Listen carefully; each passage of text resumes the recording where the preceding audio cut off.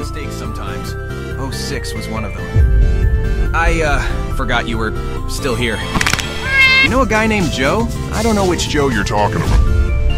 Thought you was slick, didn't you? Silence him!